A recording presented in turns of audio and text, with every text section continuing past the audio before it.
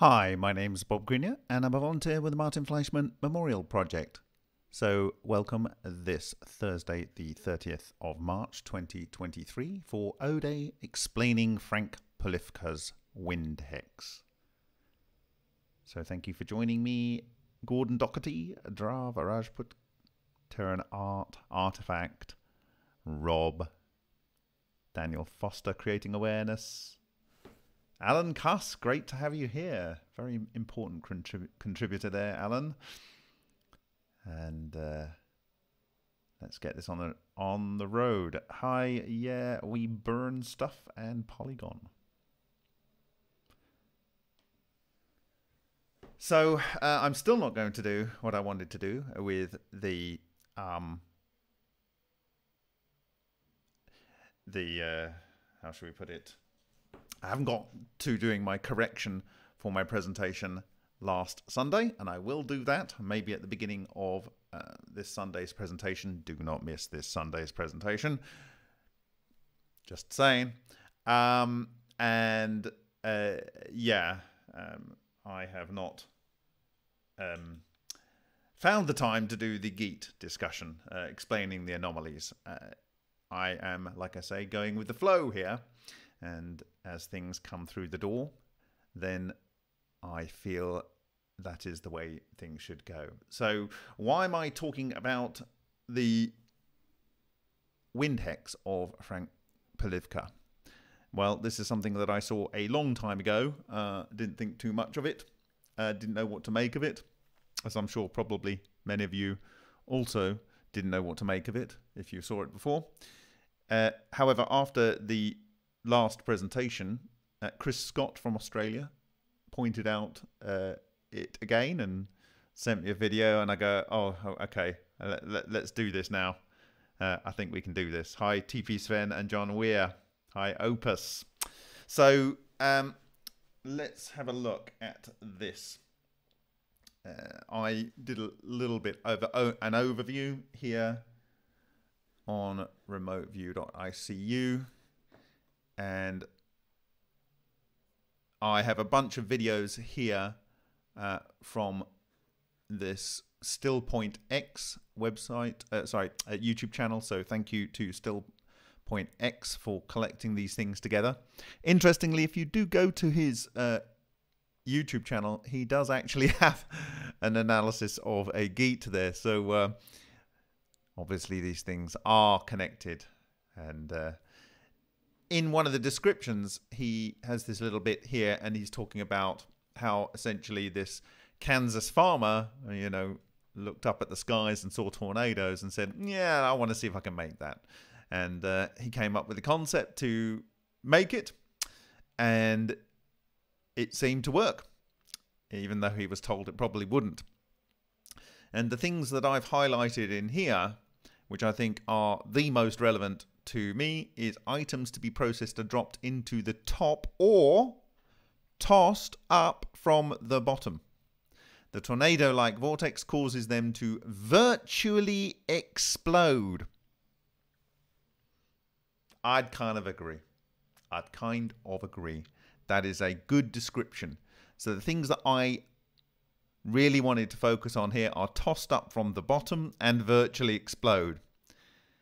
And there's some discussion about uh, the temperature rising and so forth, and that it can process all kinds of things. And for those that haven't seen it, I have prepared a bunch of slides here which go through these uh, various things. And essentially, there's some very cheesy music on this tornado in a can. And so there is a discussion about cans here and it goes through and uh, discusses. Look, you can see him right there throwing a, I think that was a glass bottle, silicon dioxide with a iron or, or metal cap, maybe an aluminium cap. And I think he does it a couple of times. There's another one, a glass bottle. And it gets thrown up into the wind hex. And uh, seconds later, it comes out as a fine powder. Look at that, a fine powder. How is that occurring? Another one. He's really going for it.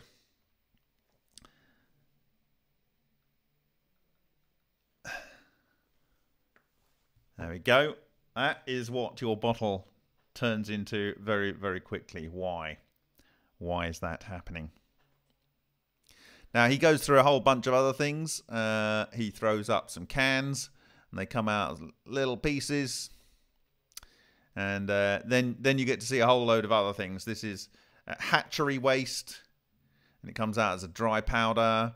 This is uh, egg, broken eggs. Uh, it's really not a very high quality video, uh, but it comes out as a dry powder. This is uh, broiler litter, that's broiler chicken litter, so uh, unpleasant stuff, comes out as a dry powder. And then they do some other things. Uh, this is a Wintex machine, there's better images you'll see in a little while. And in there are chicken feathers. And they put those in, and it comes out as something that you could probably stuff a pillow with. Dry and fluffy. And then we've got other things going in uh, liquid egg comes out as powdered egg. Um, and more bottles going in. They're just being thrown in through the top and coming out as powder. And so that that's what you get from a silicon dioxide glass bottle. You get like a powder, a grey powder. Very, very fine powder. And this is what you get from an aluminium can. A grey very fine powder. And wood goes in. Doesn't it? Wood survives a little bit more. Interestingly, uh, and uh, it can come out as a fine powder, and then you can uh, make particle board out of that. This is chicken hearts. Chicken hearts come out as dried powder. All right, I think you get the idea. Chicken offal. Mmm, chicken offal. Now, you know, there's a lot of uh, Vietnamese people I know that would probably be looking at that um, chicken feet thinking, oh, what a waste. And again, it comes out as a powder, and apparently you can extract collagen from that quite easily. So, now, this next one, uh, I think, is wheat. So here it's a whole wheat going to a very fine, nice milled powder. Blah, blah, blah, blah. Goes in there. Now, the inside of these things, when I was reading about it, you know, people were saying, oh, well, surely the inside would get uh, destroyed very quickly. No, I don't think it does. And uh, so it comes out, and there's the milled powder going into a container. Fine white flour. Now, the next one, if it's going to give it to me, is it going to give it to me? Everyone knows the destructive power of a tornado during a summer storm. Now, Kansas inventor Frank Polifka has harnessed this power in a tornado machine.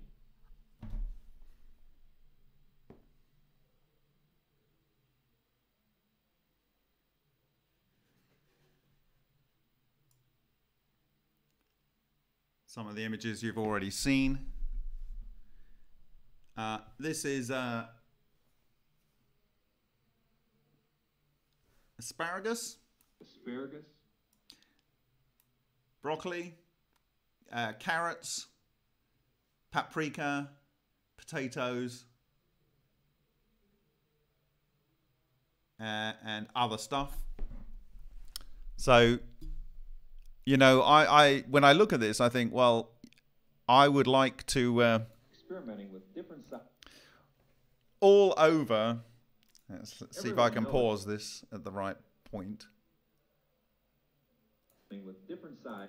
So, um, in the Czech Republic, uh, there are apple trees everywhere, and I could basically pick as many apples as I liked with one of these machines, if you could make a small one, uh, you could effectively desiccate those apples and form a powder which could probably be reconstituted into a nutritious drink uh, at any other point in the year. Um, the opportunities for preserving stuff or processing stuff so that it could be stored in an extremely rapid sense, um, you know, would uh, massively increase the uh, efficiency of food production, I believe. And I think that's what Mr. Uh, was trying to do. And it would seem that Kraft Foods uh, took over or maybe modified the patent or whatever. They seem to have got a patent. They've got a series of patents. Uh, some of them have already expired, some of them are about to expire in a short period of time.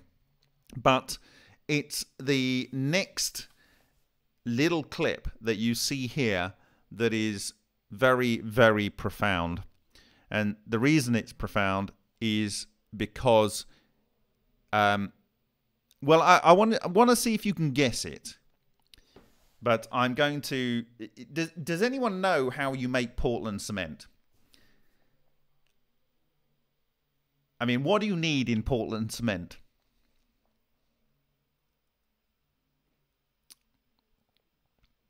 Essentially, you need like chalk, calcium carbonate, and some clay. Normally, the calcium carbonate is um, it's heated to remove the carbon dioxide, and you get calcium oxide, and then that's that's lime, uh, quick lime, and then you uh, mix in clay powder, and in both cases, these ingredients need to be incredibly uh, mashed up.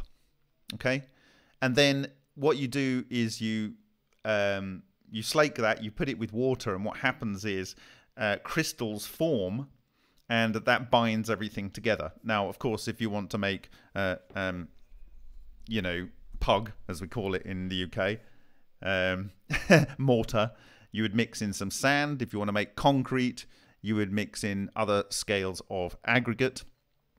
I'm trying to recall all of my lay, laying bricks and uh, and concrete floors and and patios uh, days. So so so that's that's your cement and concrete. But you can you can actually also uh, do calcium carbonate, uh, heat it up uh, and slake it, and actually if over a period of time that will go back to um, calcium carbonate. okay. Um, so if you imagine you had a huge limestone quarry uh, and you had a machine that could make a powder out of the calcium carbonate, um, well, maybe you'd have the starting materials for, I don't know, a geopolymer. Oh, yes, crosshatch, yes. yeah, you're getting it. Um, and so you'd just be able to carry easily. You could probably make a conveyor to carry stuff up, and and uh, you know you could just mix it up at the top, or maybe you could just I don't know put it in a bag and wait for it to get moist or, or whatever. But it, essentially, it's this recrystallization process. Now, what you're about to see in this next clip really struck home to me. Uh, and let's see if I can get the audio coming through as well with this.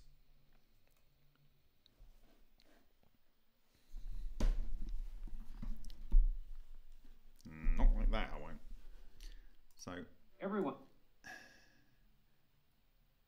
size Winhex machines and a variety of raw materials. So what you are looking at here is old concrete and they're smashing it up. And in fact, it looks like someone's got some Portland cement that's been in a bag and gone hard. And then what they do is they, they're just smashing it with a sledgehammer. They drop the pieces in. Okay, this one is uh, recycled concrete recycled concrete. So this is the pulverized stuff that comes out of the bottom. So effectively, what this machine does is it smashes up stuff and removes the water. and what do you need? It, how do you make cement? Well, like you, you, get the calcium oxide, calcium carbonate, you heat it, you remove the carbon dioxide, you have calcium oxide, you, you mix in, you know, some uh, um, clay, powder, which you also need to crush ordinarily, but it would do that anyway. And and and then you just add the water, and that does recrystallization. Well, the funny thing is here, we he says we add the magic sauce or whatever it is here. The magic ingredient.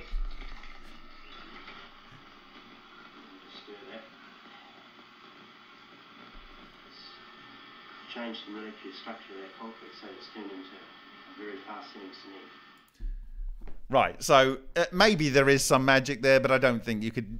You could probably work out the chemistry quite quick if it just wasn't water. Okay. So, um, i i essentially, you could ma- make ready building materials uh, using this technology. Okay. So, in an interview, which I do recommend you listen to with the inventor, uh, that I've also got on remoteview.ic, you can link from this guy's channel. Um, let's just see if there's anything else interesting here. These are chicken feet, chicken hearts. This is whatever. Okay, so everything everything becomes dry powder. Okay, all right. So on on the next one, this is the interview one, and uh, it's quite nice um, uh, because we have some much better quality images of some of these wind hexes, and they're collecting something there. We've got the uh, vortex tubes, which we've talked about, um, and it's kind of based on that. Now, here's an image from a drawing or a patent from one of these type of devices, and you can see in this one, and this this actually looks like the Kraft patent, which we'll look at.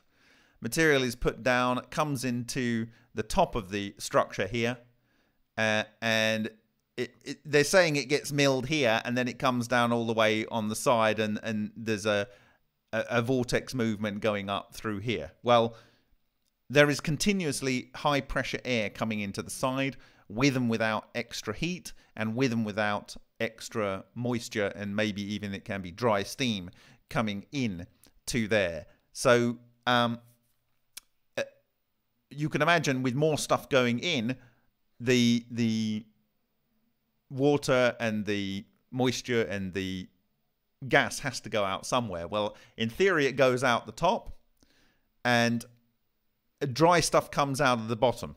So if, if it's coming all the way down here, it, it isn't it isn't the um, water that's coming down here. It's, it's not coming down here. Anyway, so th- this is the thinking about how it works.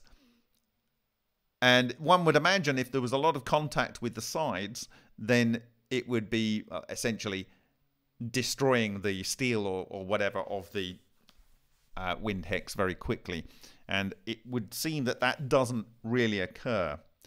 Now, Thomas Kaminsky was one of the first people after Alan Cusk that has joined here tonight to replicate an ultra experiment. And he sent me a video, and in that video, um, there was uh, a sequence where you have this structure. There seemed to be a, a bright little ball here, and there seemed to be this bubble, uh, potentially of gas, and then this essentially what looked like a tornado coming out of the bottom. And this was in the free volume of the liquid. So thank you to Thomas Kaminsky for conducting the Ultra experiment and for sharing the video with me from which I got this. And I included this as a uh, presentation title called Micro Tornadoes and Their Effects because according to Matsumoto, he believed that the thing that was causing his uh, observed phenomena uh, at least it sometimes included things that essentially produced micro, micro tornadoes. And I had previously, before I came across uh, the work of Matsumoto, I had observed this structure in Lion when looking at the outside of the quartz liner, where there appeared to be some sort of tornado structure that had a thing that appeared to make stuff into black stuff. And it was alternating, it was stepped which means it was kind of like at an angle, if you can imagine it, and one one cut through, and then it, as it went forward, and the other one cut through, and the other one cut through. So it ended up with this uh, type of spiral type boring through the fused quartz, and there was this, and, and this looked remarkably similar to a damage mark recorded by Takaaki Matsumoto.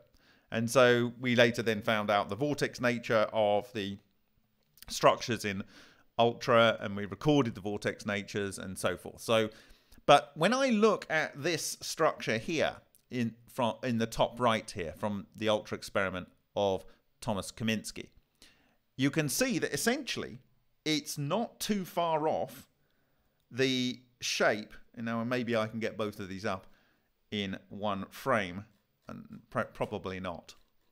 It's not too far off. Let, us see if I can get that up. Can I get it up? Um, sorry, no laughing. Can't get it up. Um, let's kill that, and I will bring that up here. It's not too far off. Um, this kind of conical shape that we have here on the feature from the Ultra experiment here. Okay, with the kind of tornado thing going down the bottom, and the kind of shape that is going on uh, in the wind hex. Okay. So what what is actually going on in the wind hex? Well, uh, this is the patent. Uh, I think this is the original one, um, September the twenty seventh, 2001, this particular one. I think there was one from 1999, and I think there was another late, later pattern by uh, Polifka, and then after that, it all seemed to be things from um, Kraft, making things for food consumption. So here, here it is, and uh, this particular one has three injections, and the one thing that I note from it is not only does it come at an angle, it it's it's it's not, and it might be a perspective thing, but I don't think it's coming straight in. So it's coming in at an angle, as well as you know both vertically and in the horizontal plane, um, and that comes into this box here, and the box, if we look at it down here, there's three of them in this instance. Now, some of the videos show four around the outside.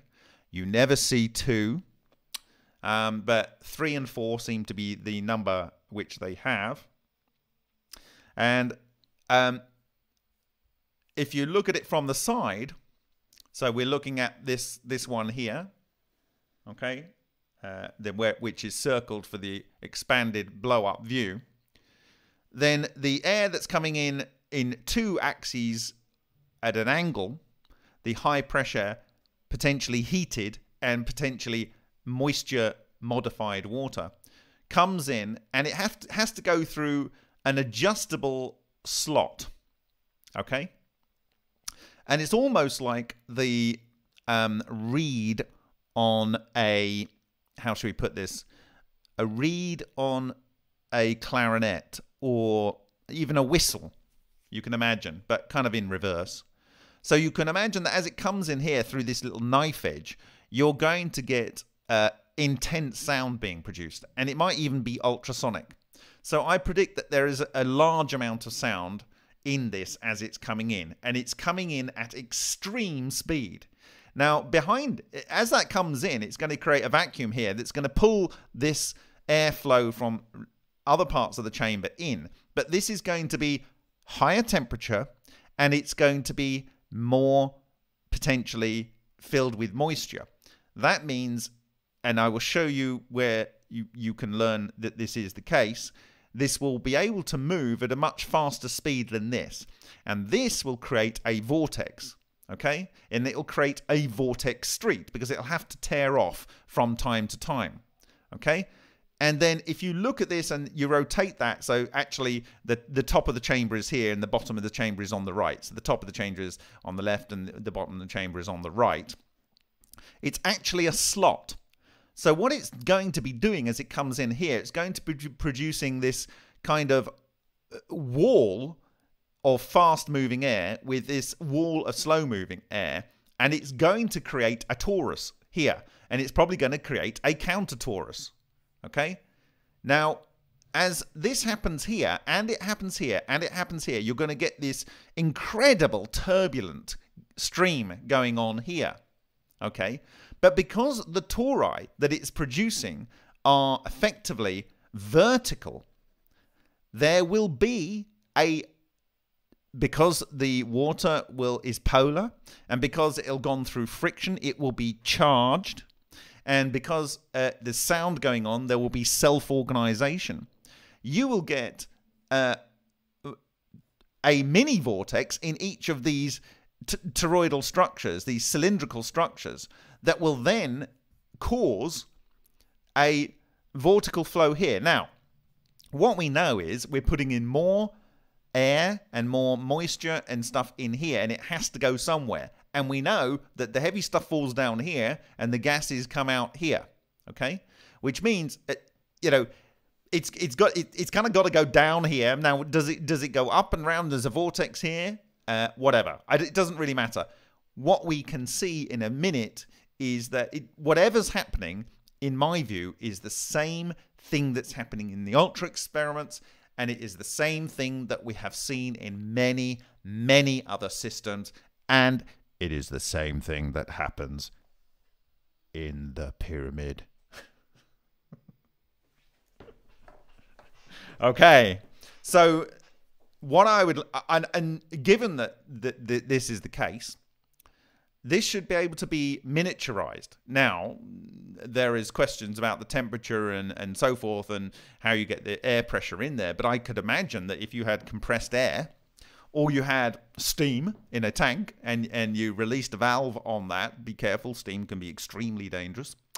Um, the expansion and so forth, that there is potential ways to do this with just steam in a pressure vessel or, or you actually see in some of the patents where they just have a big blower and the blower goes through a constricted, you know, uh, um, port and uh, that actually does the job. It depends on the level of the milling you require.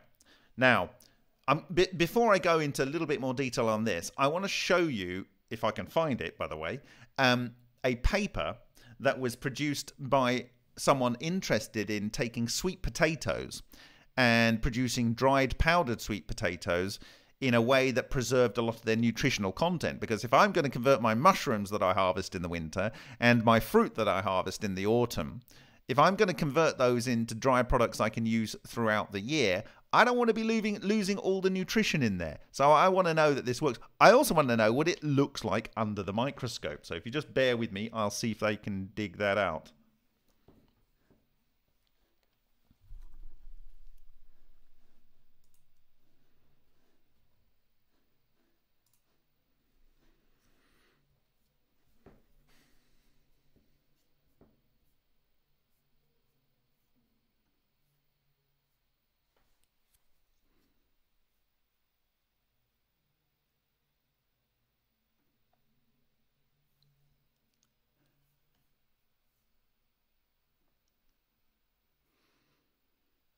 So, uh, this paper was done by uh, Emmanuel, uh, application for wind hex dehydration technology for producing beta carotene rich flours from sweet potatoes. Okay, and I think this was in Vietnam, Nam maybe, because it's under Trong, or Trong sounds uh, Vietnamese to me. Uh, they do have a lot of sweet potatoes in Vietnam. But on page 100, if we go through this blah, blah, blah, blah, blah, so uh, they're producing the different flowers here, and they show that depending on the temperature, it's better to have the temperature at 110 degrees. Uh, you end up with 87.78% of the carotenoid in there in the in the desirable form, and this is quite comparable to a much more complicated process of freeze drying. Okay, so it's faster. It's almost a single step process. You basically wash the stuff and then throw it in. You don't have to dry it and grind it and and, and then freeze dry it, uh, or vice versa. Um, and then they go through. Here is the uh, apparatus. So essentially, in their one, they've got an air compressor. It goes through a heat exchanger to heat the gas. It then goes in uh, through these ports, okay, and they feed in the uh, the sweet potato along with the uh, heat as well. The the the, the spare um, pressurized gas actually helps feed the sweet potato stock in, and out comes the lovely orange powder down here. So that's the basis of the technology, and um, if I come down, it's the SEMs of the various technologies that I am interested in here. And also the particle size. Actually, does it have it in here? It's normally, it was in page one, one yeah, down here, I think in page 100. There. Okay, so here is um, the normal sort of dehydration type technology. And they just look like chips, like broken chips. It's been milled. Uh, this is again dehydration. Uh, and again, you've got these chips of various scales. So this is 100 micron scale there. We've got a 100 micron scale there. Uh, this is freeze drying, and these are much larger chips, it would seem. 100 micron scale there. This is freeze drying again, 100 micron scale, and these are bit mostly flakes. Yeah, mostly flakes, little chips, and uh, flaky chips. Right here is the um, Windhex at 110. What I noticed in this, uh, and I don't know whether it's clear to you, is there are some chunks like this, okay? But there are a lot of little spheroid type structures all over the place. Little spheres, little spheres, little spheres, little spheres, little spheres, little spheres. And they say that the particle size that comes out of the wind hex, and the, the higher the temperature is, the smaller. So this is actually the larger of the particle size with these is a small and, and often one micron. And that's very interesting because I read a report once which said that it's very unlikely that natural processes that normally use, or, used by man for processing materials and a lot of other natural processes find it hard to get particles below 5 microns. So this process is able to get things to literally 1 micron and if that's kind of an average, there's even smaller than that. So, um, but I think they went for the the 110 because it's not making it too small. But there's definitely a lot of much smaller particles in here, and they tend to look like they're going towards being spheroids. You definitely don't see it here. You definitely don't see it here. You, th these have got some little fragments, but if you can imagine that, you know, once you free, dr freeze dried something or whatever, I don't know. But um, I don't see these are chips rather than being more like spheroids. Okay. So, but for me, the interesting thing as, as someone who likes preserving uh, vegetables and, and, and fruit and stuff from the times of plenty, uh, this this is great. Now, here is the particle size distribution chart. And you see you've got the normal dehydration, the freeze dehydration, and so on, and, and the milling processes that are typically used in industry. And then you've got the wind hex here. And the this is the volume medium diameter in microns, okay? And for the I think it's the the the 110 process, you can see that the the the mean is quite a lot lower. And so in this case, the the peak of the size of the particles for the uh, Windhex is around 70 microns. Um, but uh, in fact, actually, this dehydration process and milling, you've got some particles that are quite quite small as well. Okay, but the other processes, the bulk of them are higher. In and so, for instance, in this uh, drying method, it's like 200 microns on the peak there. This one's like 170. This one's like 130.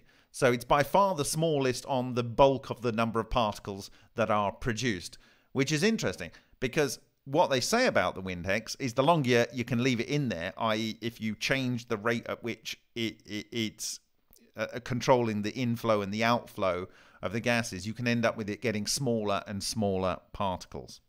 Okay. So I'm going to see if I can dig out a couple of the patents, uh, the the ones from um, the uh, who was it? From Kraft Foods.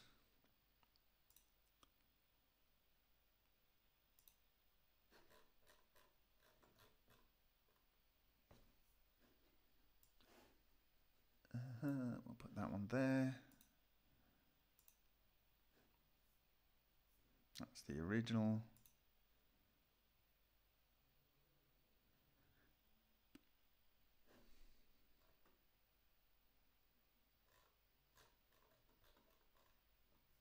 Mm-hmm.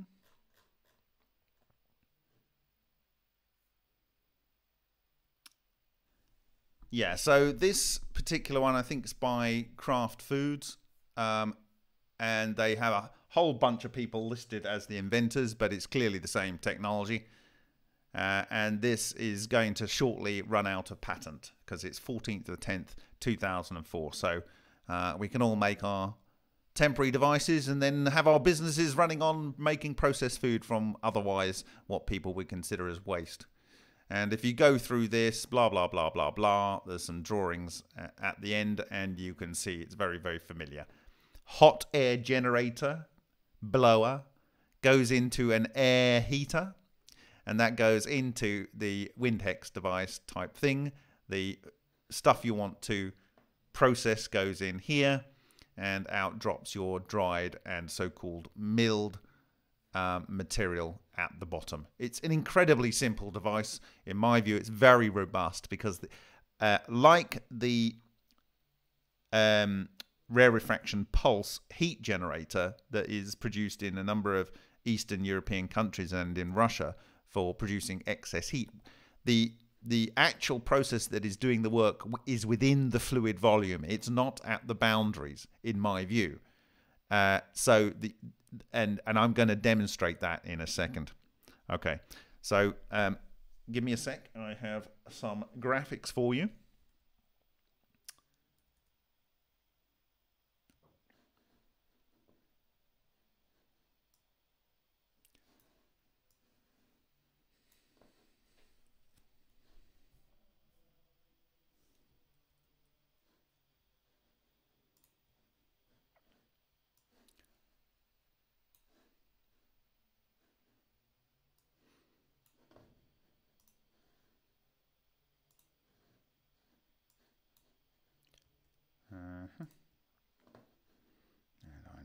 Photoshop to be up.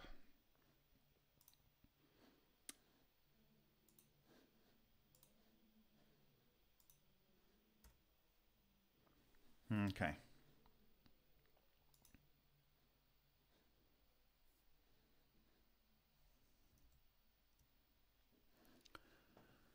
So um, there's three, uh, I think, very relevant, but there's many that are relevant um, structures that I think help describe this very well.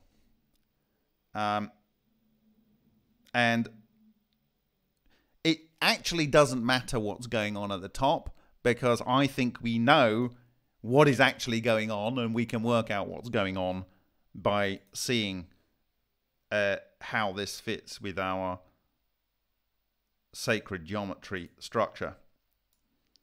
And what we know is that the the fluid dynamics of this will be something similar to what we've witnessed in various systems. So um, I've got one more thing I want to put in here. Give me a second.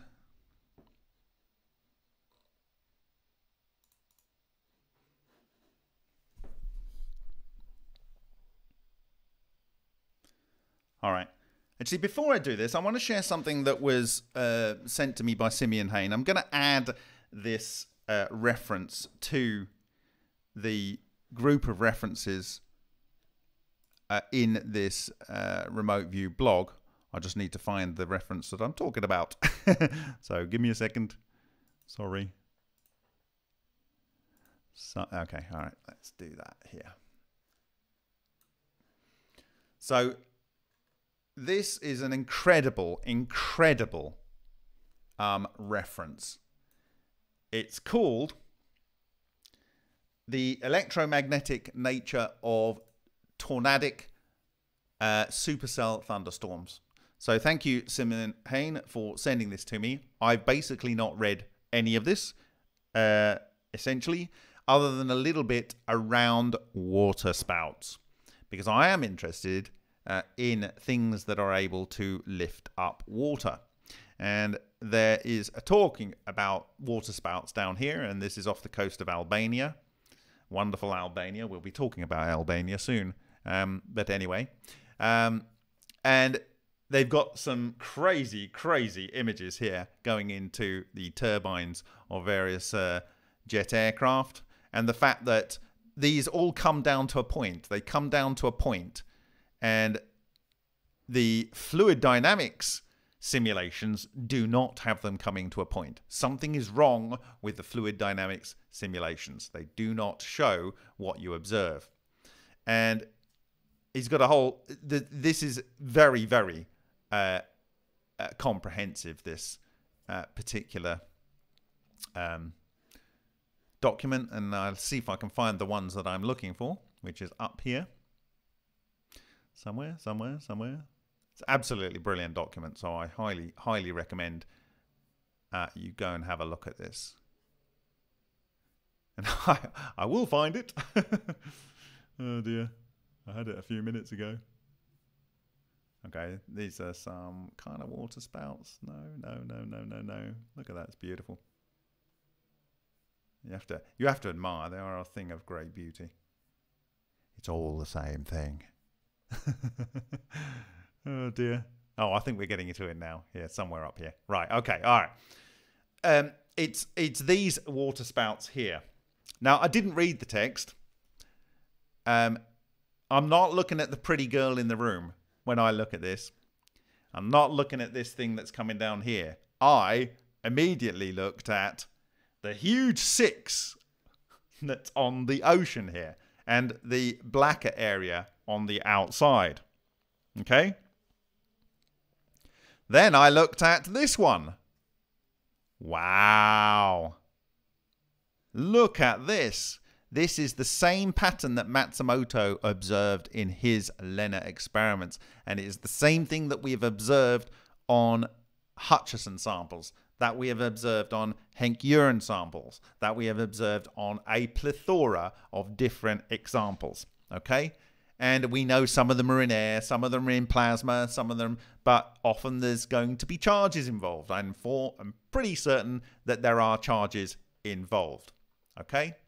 Now, if you actually look at it here, I'm going to read this bit and it doesn't scale well, so um, maybe I can do that. And now it's gone somewhere different. So I'm going to go back where I was. it says, central to the present hypothesis is the assertion that the tornadic inflow is attracted to the Earth by electric force and can only develop a vertical velocity once its charge has been neutralized by the electric current inside the vortex. There is, in fact, evidence of just such attraction uh, of the inflow to Earth. It's most obvious when the cyclonic inflow inscribes a pattern on the water. So it wasn't just me that spotted this, and it wasn't just you guys that spotted this. Okay? Um, water spout with banded inflow, courtesy of NWS. Darker water means faster winds. Darker water darker water means faster winds. Again, here, figure 76, water spout with banded inflow off the Florida Keys, 1969 09 10.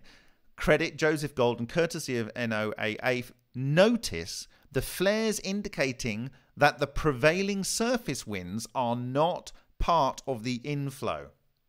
So, these areas are not playing a role. Somehow, there is extremely fast winds occurring in this vortex part here because these are not being sucked around with it.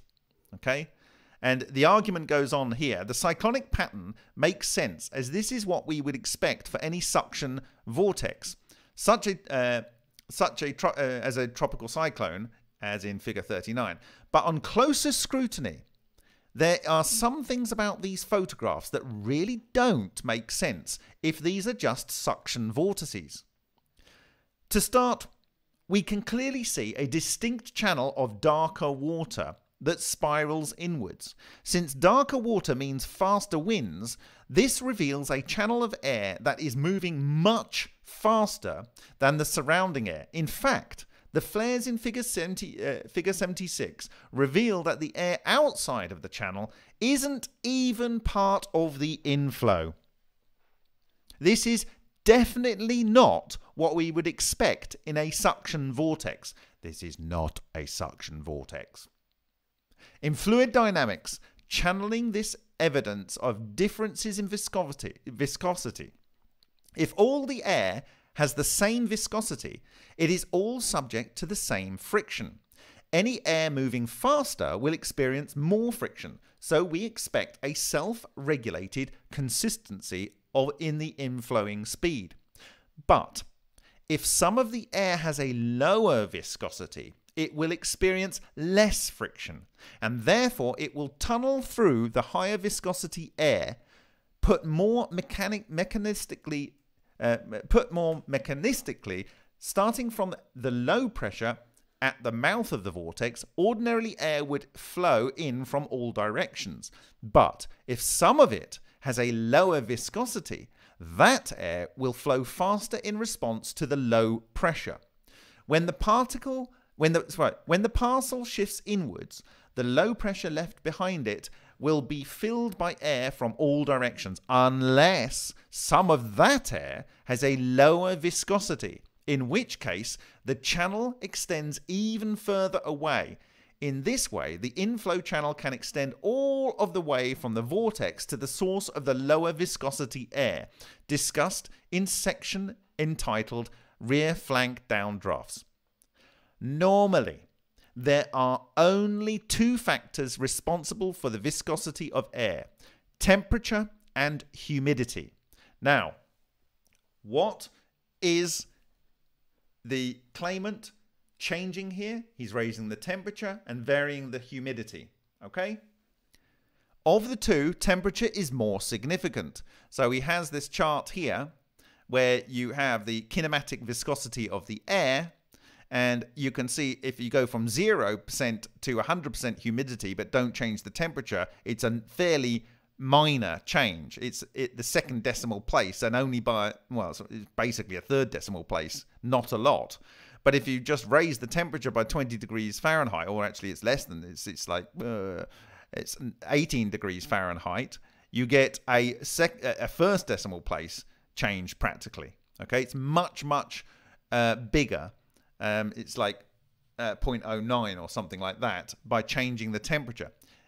So the temperature change is the biggest factor. However, he's saying, but within the relevant ranges of temperature and humidity, this is relevant for what may be going on in the ocean, we only get a 6% difference in viscosity. And we're seeing much more than 6% difference in velocity, eh, in velocity. This rules out fluid dynamics explanation. So the only possibility is the that this is one of the effects of the electric force. And in fact, if the air is charged, electrostatic repulsion within the air will prevent the particles' collisions uh, that instantiate friction, there, thereby reducing the viscosity. Right. What did uh, Anatoly Klimov uh, invent back in the 1990s? the kind of idea of firing a laser out in front of your missile or your high speed aircraft to create turbulent flow. Well, that's one thing. But if it's creating charged particles, ions in front, they will like organize in a way and, and, and interact with the body of the aircraft in a much, much different way. So when you are injecting moist material into the reactor, it's got water. Water is polar. There's going to be friction, there's going to be sound, there's going to be self organization. This will, in my view, lead to charges being formed, and you have an electrical process, a self organizing fractal toroidal electrical structure, in my view, will form. Far more significantly, the electrostatic reduction in viscosity also explains why charged air attracted to the induced opposite charge at the surface of the Earth can flow into the vortex faster than neutral air just above it. In other words, in the in top view, we see discrete flow channel that can only be explained as charged air tunneling through neutral air.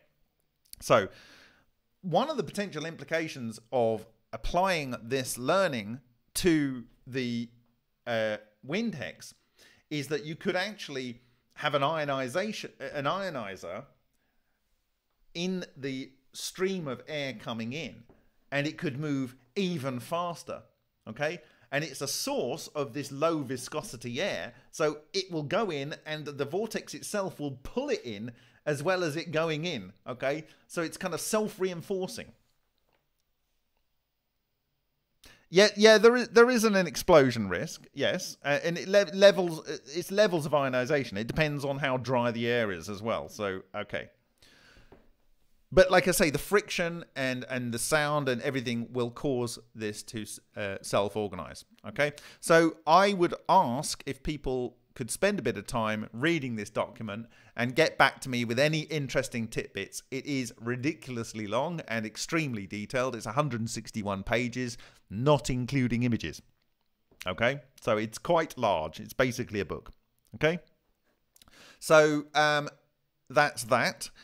Uh, so I, I then want to go and show you fluid dynamics. So we have alien scientists' work here and this has smoke particles in it. So these are very fine particles of dense matter in a fluid, and this is a laser cut through the uh, soliton. Okay, so we are talking a fluid here. So there's some slow action coming here. There's no action on the side. So if you had thing on the sides here, they would just kind of fall down, wouldn't they? They would fall down in a cone. Okay right? But there's a bit of suckage going on here. You might call it suckage. Now, this was the first time that I saw this process in action in 2017 in Suhas Ralkar's lab in Mumbai, caught with an, in an ultrasonic tank. So this is a air fluid.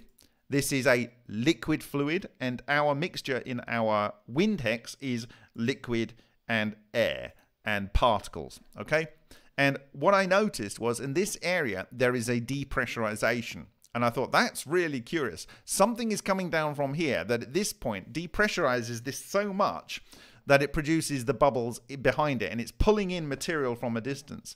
And it wasn't until I analyzed uh, last year uh, Henk Uren's quartz, quartz, I saw this.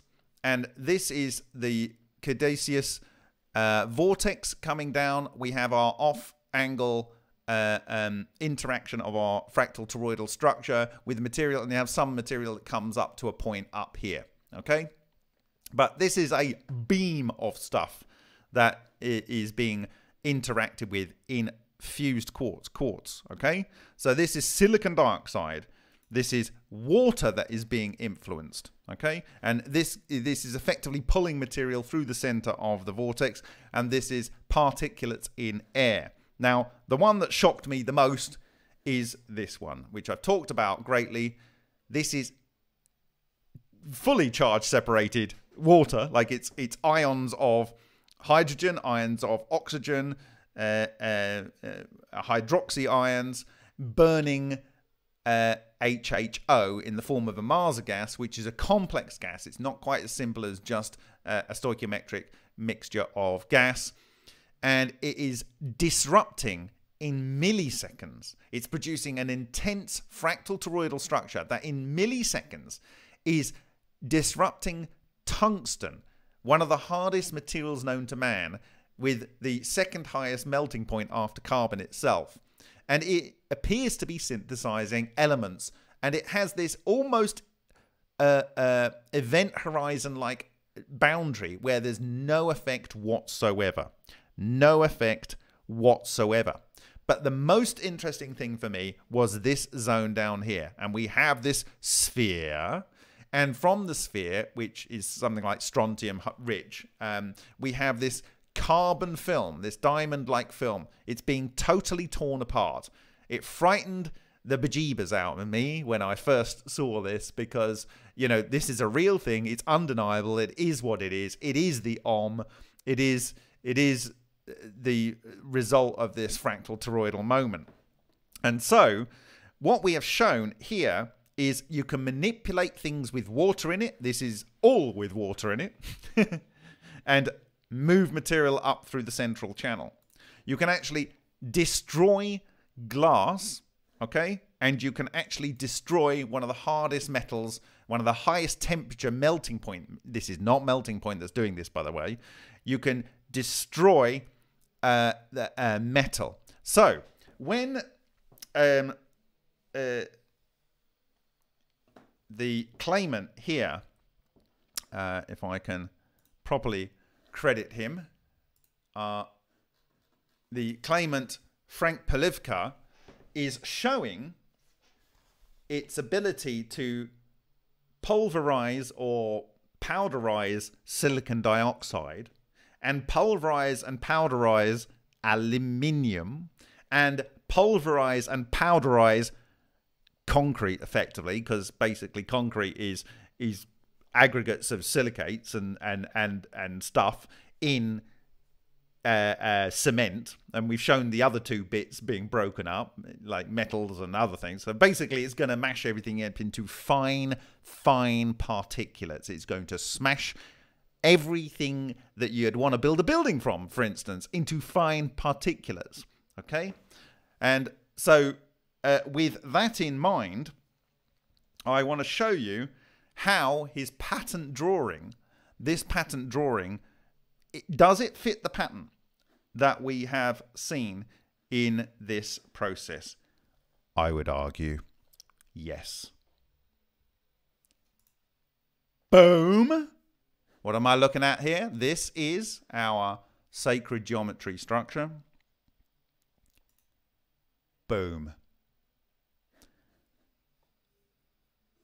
The area that the material comes up into the calm center and just a little bit of upflow, a little bit of upflow here, okay?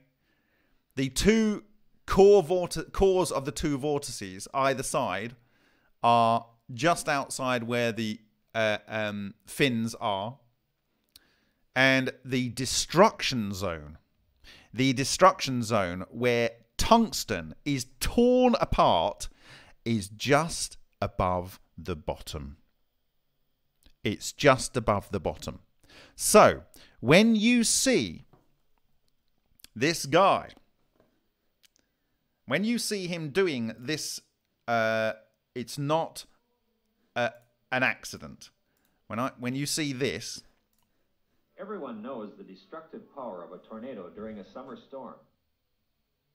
Now, Kansas inventor Frank Polifka has harnessed this power in a tornado machine. Do you see what he just did then? Everyone knows the destructive power of a tornado during a summer storm. Now, Kansas inventor Frank Polifka has harnessed this power in a tornado machine. I judge that the distance that he's able to throw that up is not that high. Okay? And within a very, very small number of seconds, he's collecting the dust. Okay? This is smashing up anything. And I believe it's doing it at this point predominantly. We know that over here, it's still quiet area. Things will just fall down. Okay? Here, it's smashing it up. Okay? So there we go. That is the overall structure. So in this whole area here, basically things get mashed. Now, so in some of the technology, they they they push the stuff down here and it comes into this part of the vortex. Okay. But this, for me, is the area that basically makes it, as he, he said himself, the stuff basically explodes and explodes. And I, I, I argue this when I when I looked at this, I'm, th- I'm thinking it's so depressurized some way, somehow, that the matter just separates from itself. Uh, and I believe that it's interacting with the electrons. It's interacting with the electrons. The toroidal moment produces a, a, a forward toroidal moment, but downwards it produces a disruption beam. And the disruption beam will cause electrons to lose their attachment to other uh, uh, uh, atoms, and the matter just falls apart.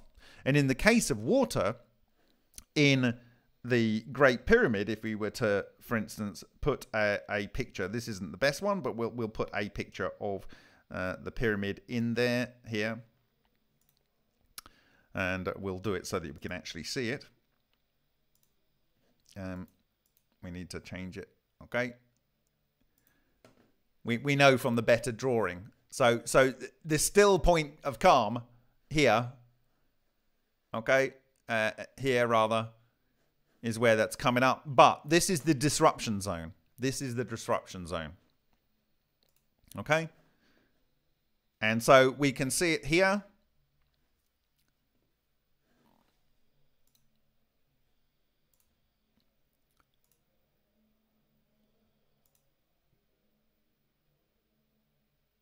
It's not a coincidence.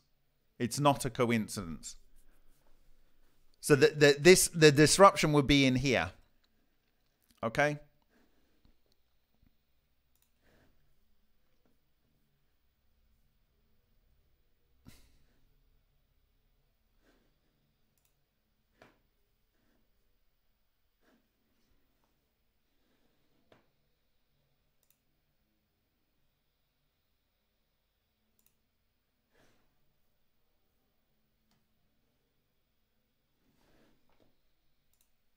And it's the sacred geometry. Now, uh, I'm going to see if I can find this, but one of his, if if I've shown you the the marks on the copper just outside the 15 millimeter ball lightning, when you only had two structures, it produces like a bar galaxy structure. Okay, and if you can imagine, you've got two pegs, and you get some fairly stiff like stick and you want to bend it round there, if you've only got two pegs, it's going to want to kink and bend and go into like a bar galaxy type shape or like like a, a an ovoid.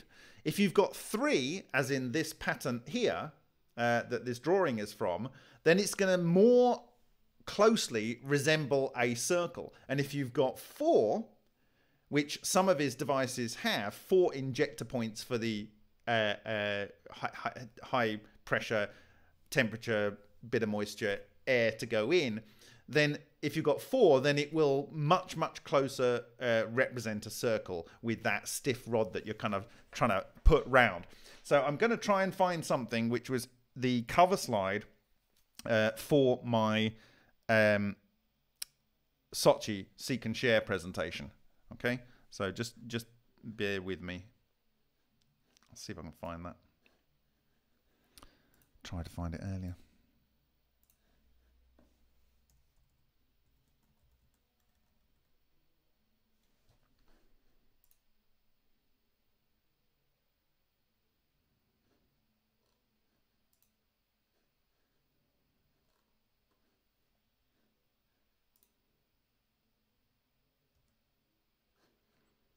Okay.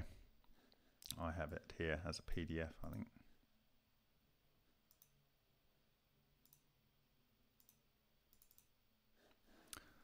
I don't know that one.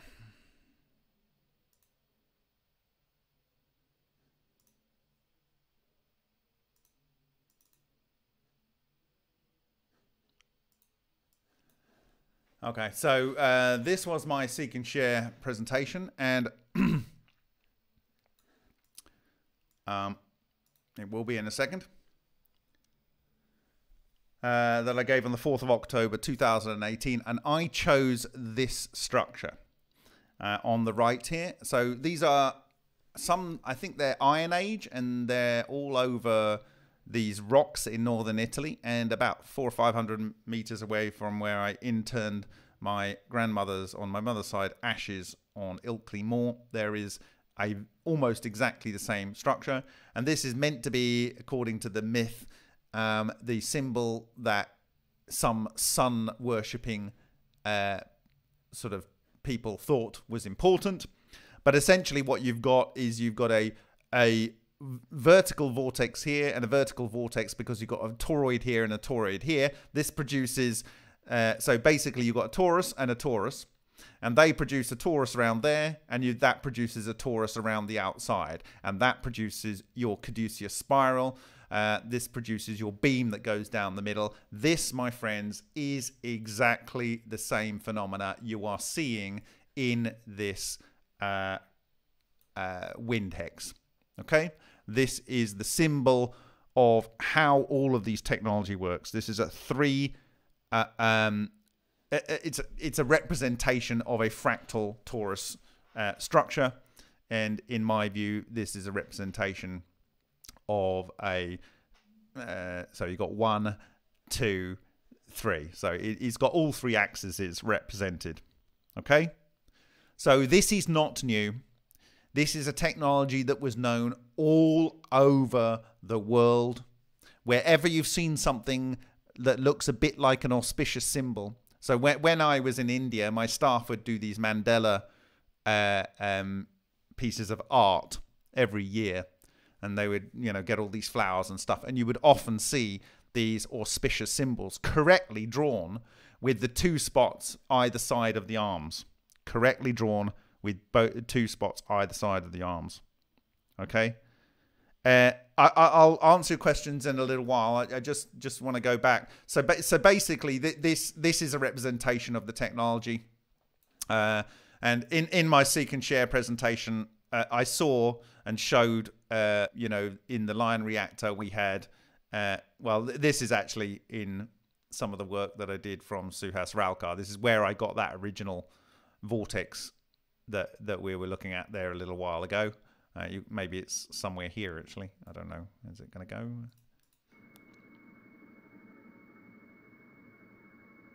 Not a pleasant noise, even when it's slowed down. Anyway, um, lots to learn from that. But it, it was in the uh, lion experiment where we saw uh, three, two, three, uh, four point and five point structures, and we've seen six and eight in in Vega since. Okay, so in his patent here, he's and in the other patent, if we if we go here, he's just going three, and I think that's the bare minimum for uh, a practical device using fractal toroidal uh, uh, destruction technology. Okay, and uh, this I believe would give you access to the production of geopolymers. But this I um, this might literally blow your mind. I was talking about how you could make a device using this technology to manipulate material. Since we could, you know, I might be wrong. I might be wrong. But this is real. This actually happened. I might be wrong, but you know what? This is real. This this actually happened. This this this uh, uh, all these three thing, things here actually happened. They are what nature does with a vortex. Okay. It's not just about what goes up up here, and it's not just what goes on in between. It's this particular focusing zone down here, particular focusing zone, where I believe Mr. Polifka is throwing those materials and where I believe a lot of the really incredible destruction occurs. Okay? Where it did occur on this piece of tungsten. So I believe that potentially you could make a device and and you know this is not big guys this structure is 50 microns across and it's what like maybe uh, 80 or 90 microns down. But this area here, my friends, this little bit where the destruction is occurring, if that's 30, then that is 3 microns. That's 5 microns across. 5 microns across. Okay? And outside here, there's no destruction at all occurring. And here, there's every destruction at all. like it's all destruction here, and there's no destruction here. It's an event horizon. Okay, so we have something that can cut to micron diameters, and we know we can make these smaller, but this is damaging tungsten, right? So if you got something as hard as tungsten, not a problem. So could we develop miniaturized devices that rather than having this bit enclosed in the tunnel, it's a bit like a ballpoint pen, yeah? The destruction area, just the edge of the event horizon is not enclosed in here, but it, it just it just the event horizon just comes out the edge. Is that possible? Could that be possible to do? And if it was possible, you could use this as an unimaginable tool for carving, for cutting rocks out of mountainsides, all kinds of things. Is this possible? And I rather like this idea of having a controlled, like pen like structure, which you could just carve rock, right? With, um, than, than having the sphere dialed up to 100 and it just destroys everything, you know, within that sphere. Okay? So I believe that this, and, in fact, he actually talks that at some point he could imagine people having these devices in their home. Well, I can imagine that no one would want you to have these devices in your home when you work out what they can do. When, when you work out that probably they are exactly what caused the pyramid to do its magic. Okay? This is the disruption area. Okay, and in my view, it is interacting with the spin of the electrons and also the protons uh, and it's tearing the hydrogen and oxygen apart. I believe this is probably the reason for some HHO generators to be more efficient because they create these vortex structures, and then the vortex structures are more efficiently separating the water, and so you get a net energy gain uh, because it's it's not using it's not having to go through the normal way of separating water. Okay, and so. Uh, I would describe this, and I would describe everything as I'm talking about here and have been talking about as Atlantean technology.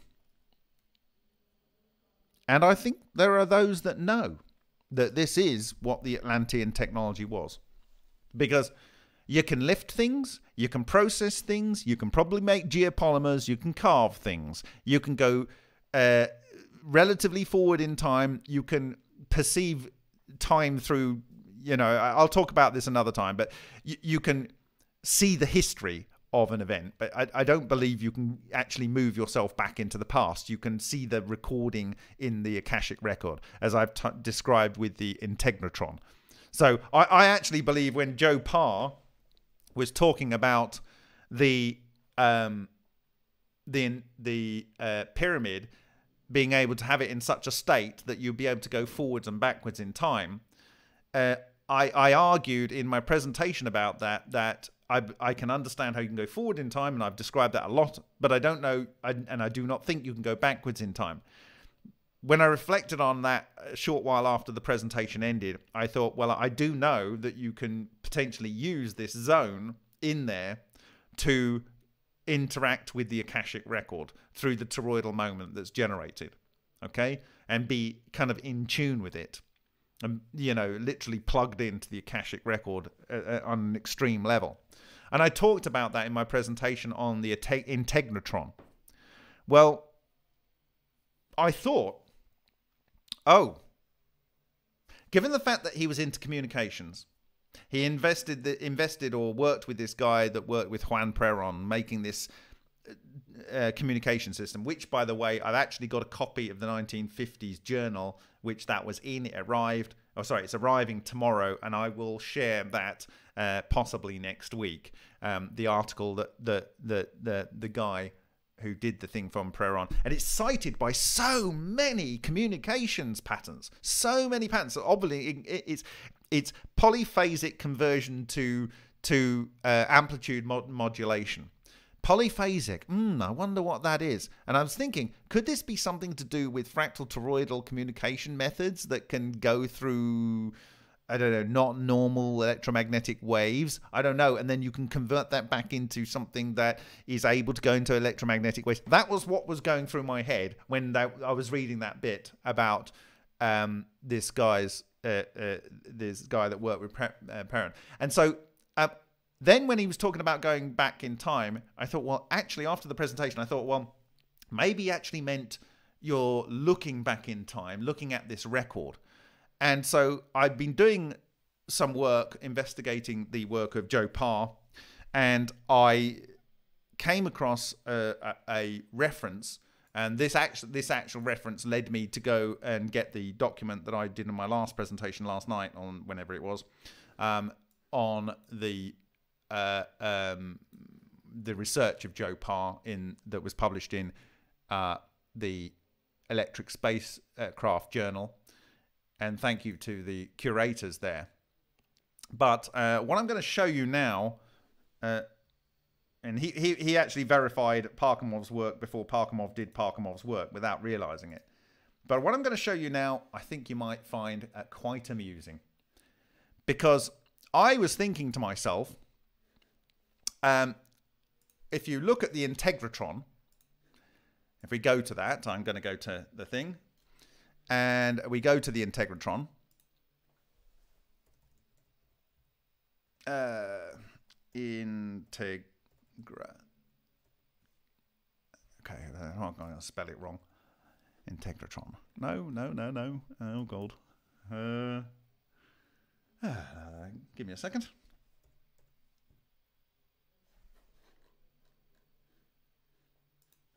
Mm.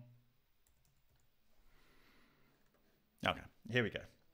So this is my article on the Integratron by George Van Tassel. And I argued that this was a dark matter accumulator. It was a fractal toroidal structure as, you know, it, it's kind of built with the understanding. And, and so I took this photo. I calculated that it did have 48 divisions around it where these things were meant to, some electrical thing was meant to be hung off these poles. And it has a Tesla coil in there. And so I proposed that this was the structure. It produced a fractal toroidal moment. It happens to be exactly the right ratio to have these four uh, fractal 4D, uh, D4D structures in there. And so I thought, you know what? He's describing going forward and backwards in time. And I thought, it does he mean like I kind of projected that he he was that that, that I think that um, Van Tassel was describing. And and so I came across this site, and, and, and down the bottom of it, this is this is on GizaPyramid.com. There was a, a, a link here down the bottom here. I don't know if you can see it, but it says contributors to Joe Parr's research, and I thought, I think I know what I'm going to find when I click on this. I think I'm going to know what I find. So I clicked on it, and you know what? At the top of that link is George Van Tassel.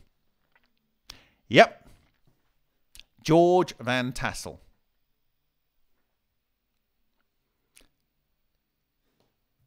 Contributors to my research. George Van Tassel. So there we go. I believe that uh, Mr. Van Tassel here, bearing in mind he says the secret to the universe is 1 over F. okay?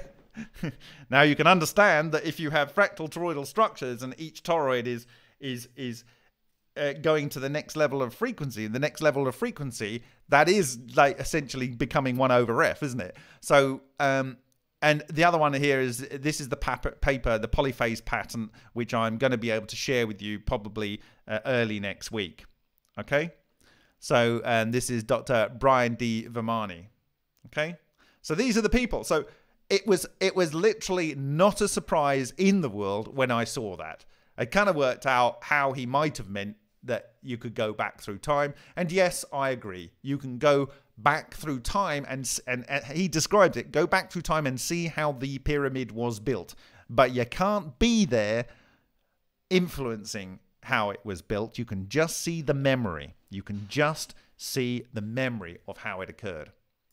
So, therefore, I believe we are dealing with uh, Atlantean technology. And I believe that it has been known for many, many years and they like to rub your face in it.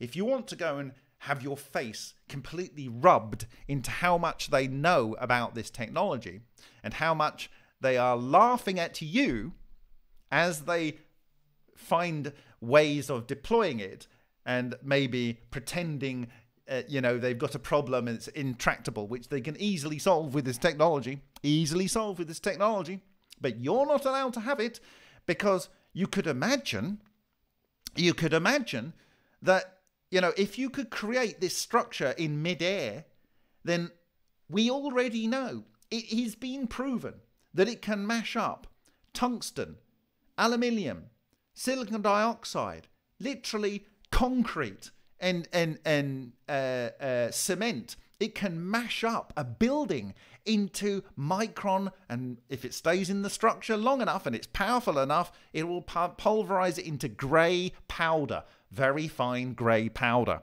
Can't think where I have seen that happen before. Anyway, uh, that's what it can do. So why would they want you to have one in your house where someone might put their kitchen knife up in there and it starts chewing the end off, and then they go, "Whoa, what happened to that?" uh, and start thinking. Not allowed to think. Not allowed to think. But this might make you think. This is slide 100 from O-Day, which I don't believe I've shared yet. I might have done, but I don't think I have.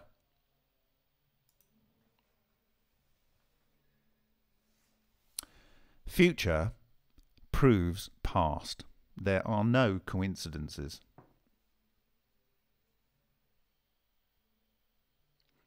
This is the head offices of Science Applications International Corporation, SAIC, in San Diego. And you may know that the cluster impact fusion technology was transferred to SAIC in 1992, and the uh, Psychic Spy program was transferred to SAIC. One was from um, Stanford Research International, and I think that both of them were Stanford Research International. And essentially, this is a quasi private institution because it's private. You can't do a Freedom of Information Act on it. So everything that's important is not in an in, in a place where it can have an FOI on it. And the, here we have Tom DeLonge in in 2017 on the 26th of October saying, for example, the sixth biggest defense contractor, at, at least they used to be the sixth, is a company called Science Applications International Corporation. These guys visited John Hutchison. Their headquarters are actually in San Diego, and in front of the building you have an obelisk. Yes, not giving homage to the Egyptians at all, coming out of the fake lake, and two Atlantean thrones. And they're holding pyramids. One says the past, and one says the future. And they're eight foot tall statues. It's beep nuts, by the way. Yes, they're holding a pyramid. And the guy with the Arab headdress is looking down upon the pyramid in contemplation. And the one on the right is ultra uh, modernistic uh, female figure looking up to the pyramid uh, in a kind of visionary sense. That's where we're going to be. That's that's what we should be thinking about, and that's where we should be.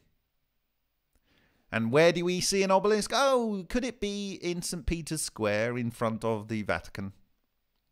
Hmm. Yeah, this is the past. This is the future. And I would probably bet my at least a dollar that if you took these two structures and this point here and you'd look at an aerial photo I wouldn't be surprised if it was it, it lined up in some way with this structure that we're talking about. I would I would it would not surprise me. Okay? Maybe someone can do that. So, Polygon, I'm going to look at your questions now. Could the wind hex be used to refine crude oil? I think it could break it down uh, into smaller particles. This effectively is what, what you are looking at here in the in my diagrams here, effectively, in the wind hex here, is the toroidal, uh, fractal toroidal vortex part here. This is in the the cupped section of the so-called north pole in a GEET reactor, and it has this beam that comes down, and as the as the uh, fuel comes down here, it actually gets to this point, and it actually gets ripped apart. Okay, and some of it gets recycled and stuff until it just falls down by the side. So this is essentially what's going on in in a GEET reactor as well. Um, and so yes, it, it can split up uh, oil. So uh, Rob is asking, would the wind hex produce strange radiation whilst uh, disassembling? Um, I think that because it's not completely destroying the matter, because it's actually, and this might seem um, a little funny to say, it's quite gentle. The the wind hex is quite gentle. This is not gentle. An ultra experiment is not gentle. You know, within uh, 90, 90 seconds, uh, we were able to create coherent matter that was able to leave tracks on the aluminium, instantaneously train, changing it where it interacted with the aluminium. Okay, so there are beams coming out. This, in in fractions of a second, is uh, able to tear apart tungsten and synthesize other elements. But actually, this is quite gentle, in my view.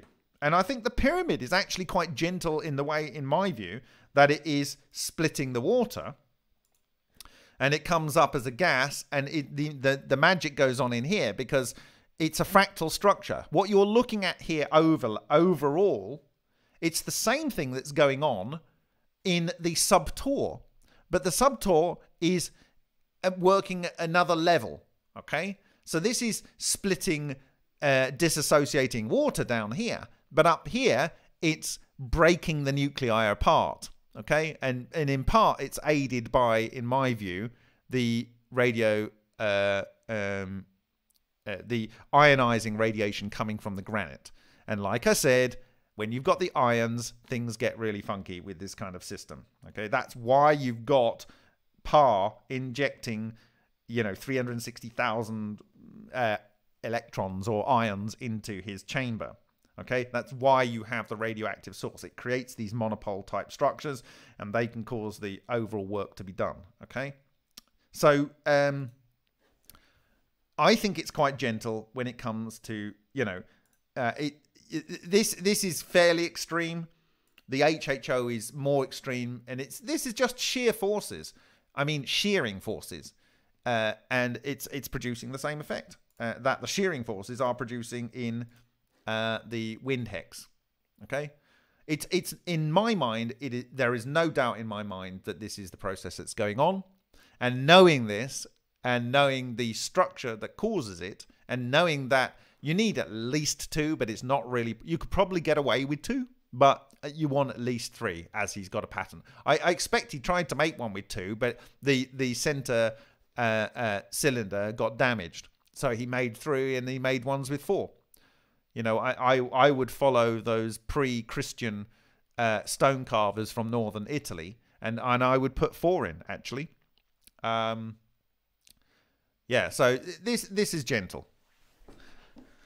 Um, I'm not saying that you couldn't possibly get strange radiation, but when you're putting in things like uh, calcium carbonate, there's plenty of carbon in there. When you're putting in things like poultry, when you're putting in foodstuffs, there's lots and lots and lots of carbon in there, and therefore you're unlikely to get the strange radiation forming because it prevents the extreme coherence.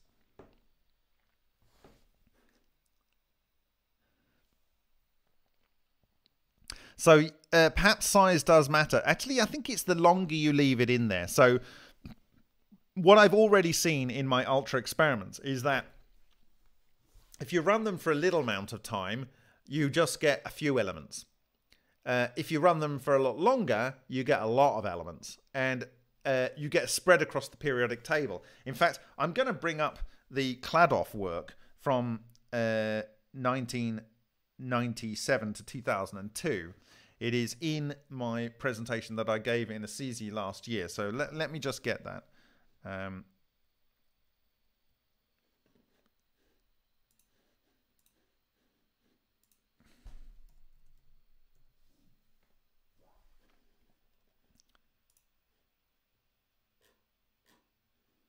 I can find it. Give me a second. Uh, what do we call it? La di da di da.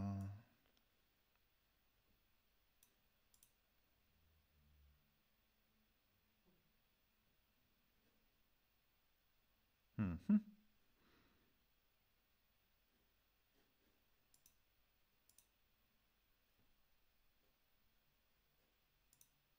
Oh well.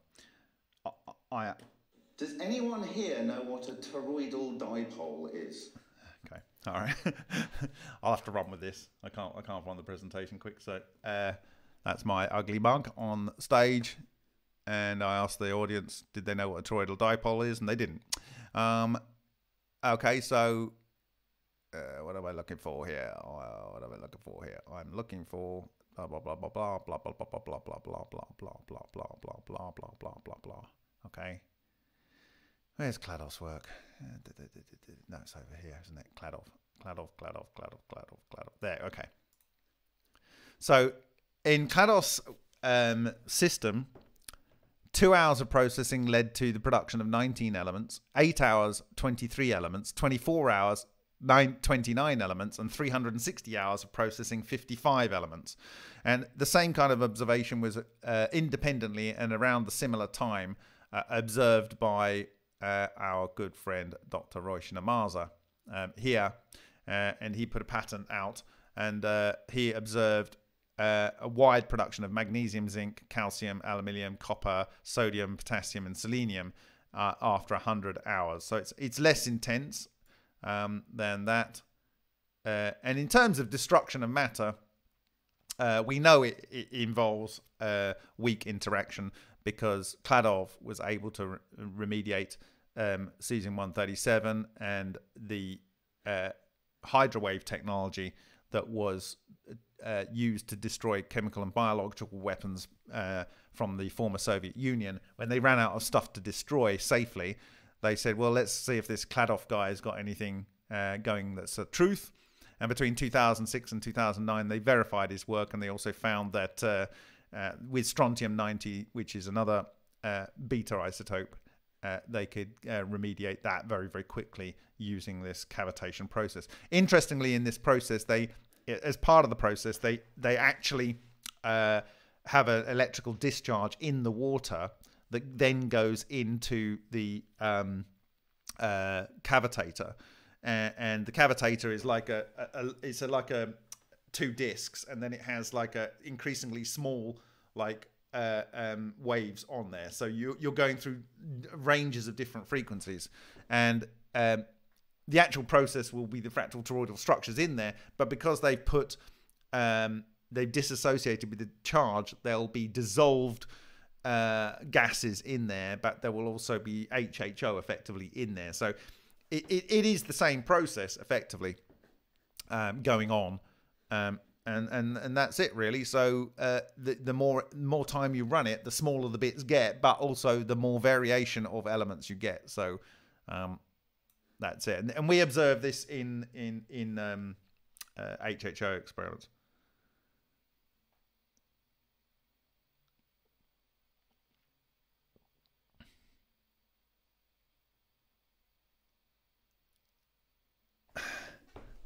Sorry, Gordon. Well, we're pretty much finished.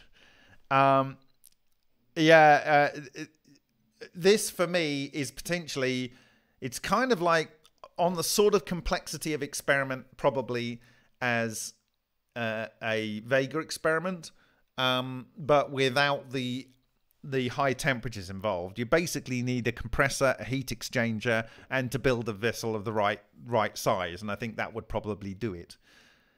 Um, can we disassociate CO2?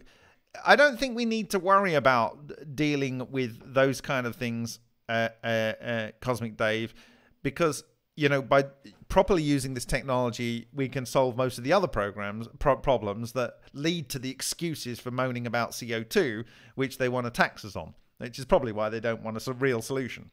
Okay. Um, so I'm I'm going to read some of your comments here and answer questions. Any idea how much power in the compressor? I'm pretty sure that there would be it would be more efficient to use the power in that compressor.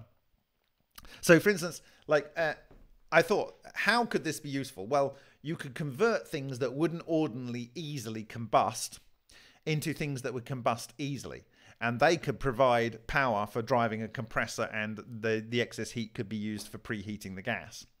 Uh, secondly, you can convert uh, stuff that isn't high grade food into food additives because the, the, the those things may still have a lot of nutrients and good nutrients that would ordinarily be wasted. Okay, so you've got to consider the energy cycle and the embodied energy, for instance, in fruit and vegetables and in meat and whatever, th- that would ordinarily be wasted that you would save. And it might be that the energy you put in allows you to recover high grade food uh, that is uh, way in excess of the energy that was would be wasted by throwing that stuff away. Moreover, I've considered, you know, at the end of my growing season, I have these huge pieces of, of uh, grass from my sweet corn. And you know in my in my compost heap they might take 3 or 4 years to compost down. Now what happens if i can convert that into a fine powder that i can plow straight back into the soil okay then i'm, I'm immediately recycling that stuff it's much more accessible to the bacteria it's much more accessible to the the um, uh, to the plants. Uh, you know, so yeah, it's kind of like pre-digesting cellulose. So you you could even you could convert th- things that were not easy to convert into alcohols, for instance. You could you could you could mash that up. Um, I actually suspect potentially that coming out of the top, if you got the wind hex to a sufficient degree of intensity, and maybe you put some uh, uh, charges in there in a way, you might actually get out coming out of the top hydrogen and oxygen. Like the water is not actually just uh, being boiled off; some of it's coming off as in a gas. So I, I don't know.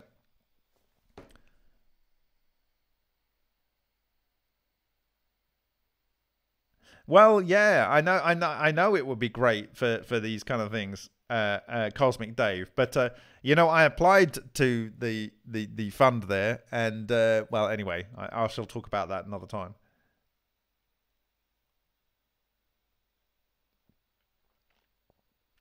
So, uh, Alex de del Castillo, I think the disruption zone is a focal point uh, for the beams of dark matter uh, through which ordinary matter come, and and it, it it's it's either pulling the the the dark matter out of the material so that the atoms lose their ordinary ability to hold together um, uh, something like that. But it, it is it's influencing the electrons. And since we know that that the the cold neutrinos influence the electrons i think that's something like what is going on. That does it happen uh, absolutely, it absolutely happens. This this is this is a real thing. It really happened. It really really happened. This is a real thing. It really really happened. All of those, uh, you know, it's it's lucky that we get to see this from the side. It's lucky that we get to see this from the side. Okay, because in many other circumstances we observe these things uh, in the other orientation, so we don't get to see how they are working. Uh, um, but uh, in my view, he throws the can up here, and it doesn't. You, the thing about throwing the can up here, and it, it, this is just a logic thing for me. If the tornado is just sucking from here all the way up, and it would just come out, the can would just fly out the top. It would just fly out the top, right? But it doesn't. And and why why would the can fly up through the center of the tornado and then deviate off to the side to get into the vortexes up on the top right or on the top left in this diagram? It wouldn't. That isn't what is happening. The can, the glass bottle, the the things that he throws from the bottom here is being destroyed here. It's being destroyed here. The effort that they went to to make sure you couldn't use this, but Kraft Food could process food so that you could buy it off them for decades. You know, and uh, like I don't think the Kraft Foods ones are necessarily as powerful as some of the ones that were uh, tested by uh, Polifka.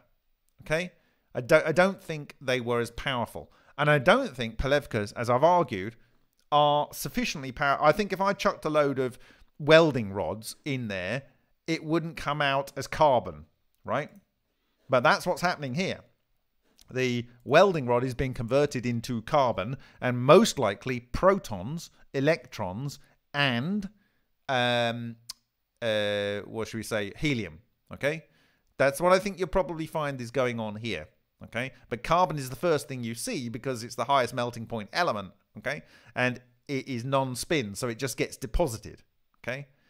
So um, this is far more intense than the the wind hex, but the wind hex could be made like that. And for me, it's it's exciting to think that I can massively increase the amount of food that I can process for later consumption in the year, okay? That would otherwise be wasted, okay? And um, uh, the other the other thing is is that if we can reveal the event horizon here the event horizon here we would have this incredible ability to carve things and uh, cut things out. And you could literally make these to any scale you like.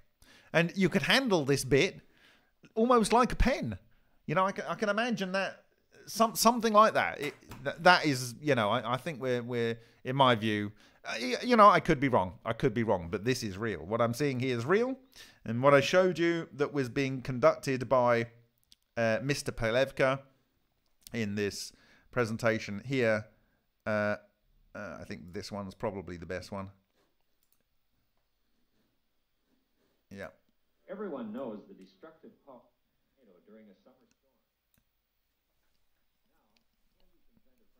He is not throwing that out of the top of the thing. He's throwing it into the destruction zone.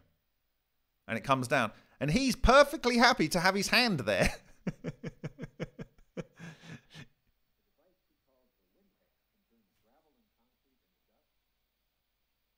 yeah, kind of like that, Con- uh, Cosmic Dave. The Dremel Tornado drill. Corky, that would be great having an illustration, yeah. But I think since we I believe that we understand what the geometry is. Because we understand the geometry, we can make very precise structures to do this. But it's, as I say, this is such a tolerant technology. You cannot fail with an ultra experiment. And it does this. It does this. And it makes heavier and lighter elements. And it even completely collapses matter.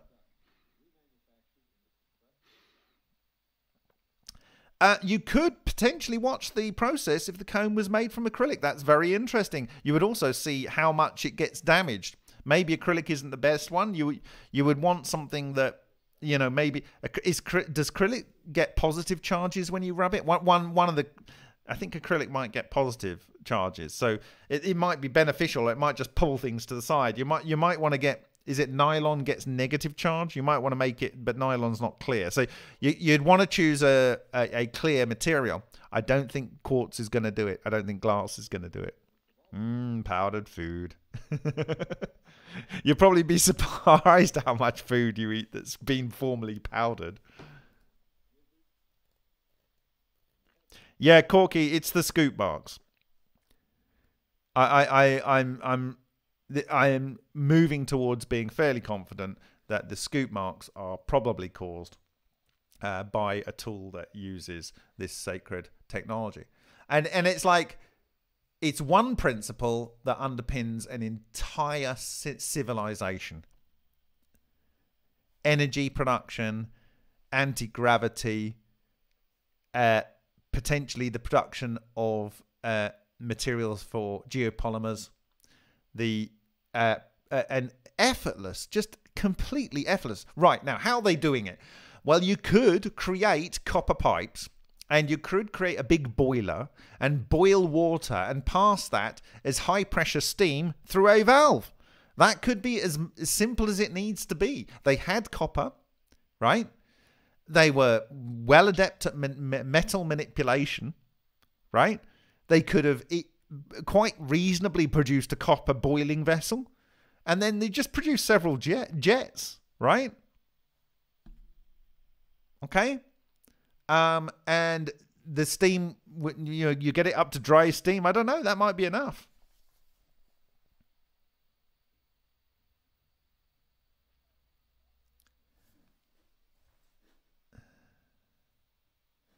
Okay, so I'm going to try and get as many questions as I can answered in the next 10 minutes because uh, it's nearly midnight here and I have some important things I need to do. Um, would copper be better than metal? Copper, I, I do believe, would be good for a couple of reasons. One, it uh, doesn't absorb hydrogen. Uh, the the reason it's not good is that it's a spin metal, and so it'll get ripped into there. So, uh, so I I would suggest you need something like steel, uh, which is non-magnetic. Although, like I say, that I don't think this is too powerful. I think what is powerful is going on at this disruption zone down here. Something really powerful is going on at this disruption zone and material might fly up a little bit and it just goes around and trickles down the edges and it just passes passes the disruption zone. Okay? What am i doing?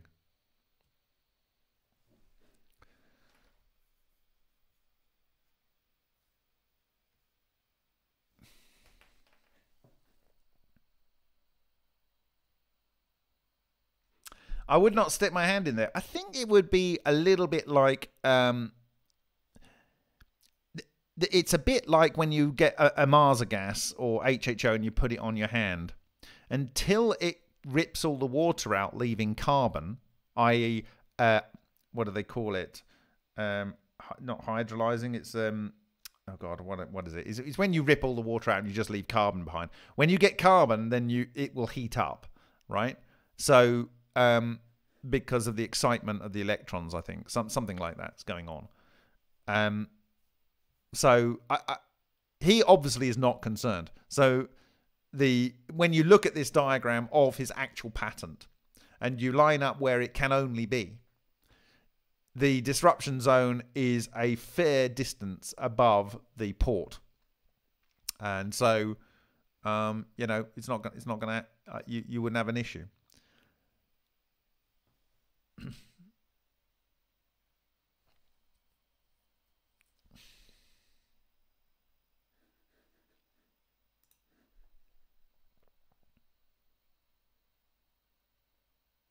I'm afraid we're going to have to do this ourselves. We're going to have to do this ourselves. Uh, it's you know, but we we need to respect it. We need to respect it. If they tell us it's not possible and it's a patent that's already expired, well, uh, what are they going to do?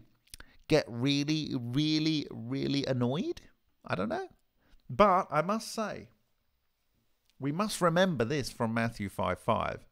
Blessed are the meek, for they shall inherit the earth and the original meaning of the Greek praus uh, means strength under control.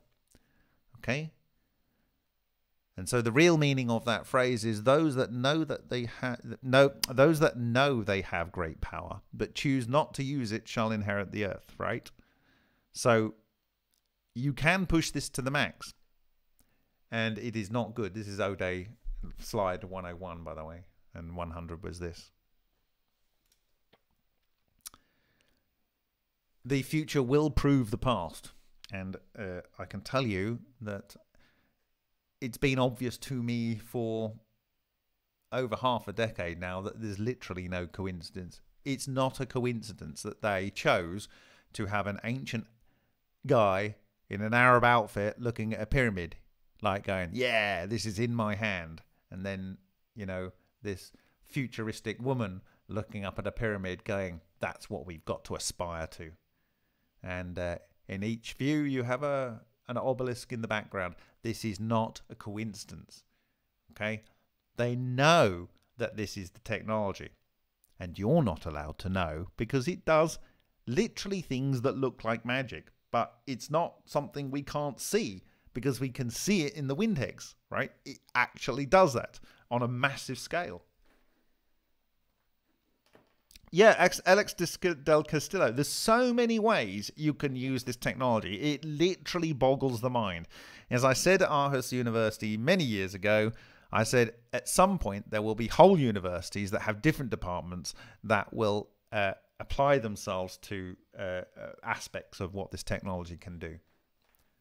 You can make uh, all the elements you want, okay, uh, and you know you can you can make elements into nothing. You can make nothing into elements.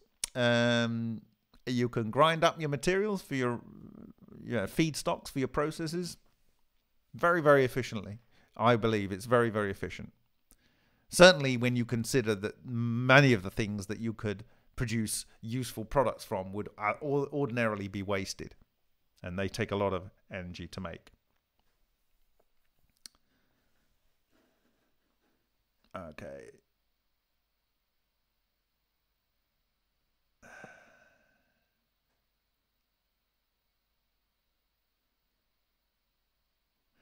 Finally get rid of your chicken beaks. Yes, exactly. I remember going to uh, Los Roques off the coast of Venezuela, very lucky once. And there, and in a lot of those uh, Caribbean islands, there are mountains of conch shells. Like they're, they're almost a sad reminder to the decimation of these poor creatures, which are very, very good uh, and easy to catch, very good to eat. But they're, they're sitting ducks, really. Um, and you could get rid of those and, and give that back, you know. Um, just all over the world, you can clean up so many things with this rel- relatively trivially.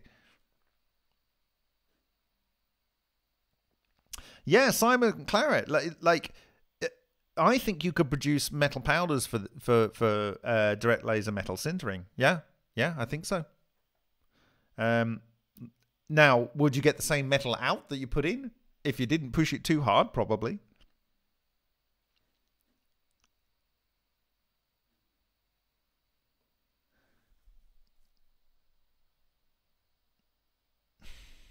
Okay, I'm going to look through. So, hi, Crypto Alchemist. Great for joining us. And hi, DO Projects with uh, Chauxus. Have you read T.T. Brown's daughter's book? No, I haven't. Uh, if you have, and you have some interesting things in there, I'd be very interested to see what that uh, reveals.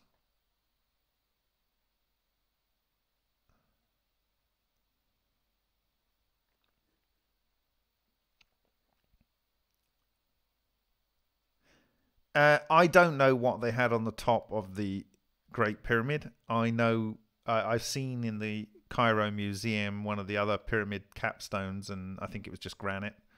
I have some extremely nice photos of that, which I'll share in due course.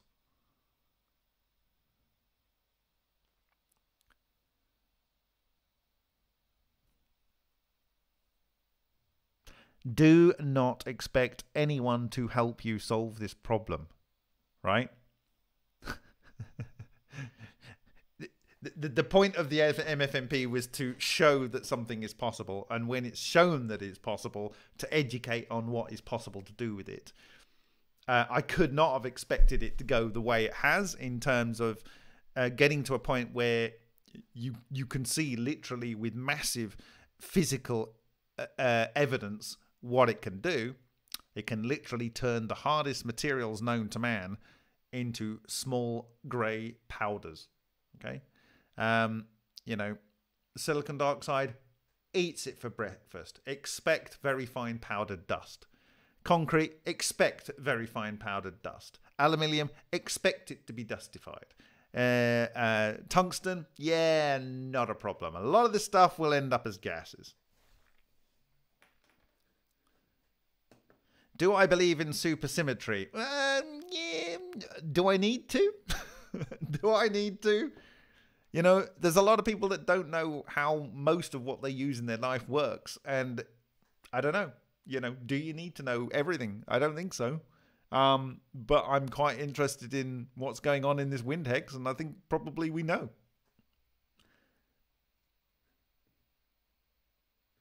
I, I, I do believe that there are magnetic charges if, if, if that's a form of symmetry to the electric charge, and I think that it's a structure just as probably an electron is a structure. Okay, people say it's a fundamental particle, but then when you get, you know, two, an electron and positron annihilate, they produce two photons, and so like they're at least made up of electromagnetic energy that's trapped in a, its own structure. What is that structure? Hmm.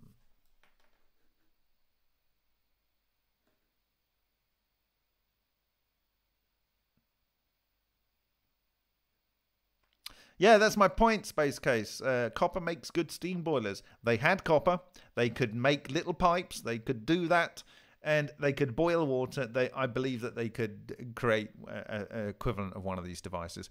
I wouldn't be surprised if there wasn't some hieroglyphs that look a little bit similar to this structure. But anyway, you know.